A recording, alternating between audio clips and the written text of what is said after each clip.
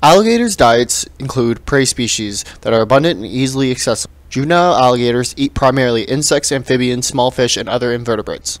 Adult alligators eat rough fish, snakes, turtles, and small mammals and birds. The average size for a female is 8.2 feet, and the average size for a male is 11.2 feet.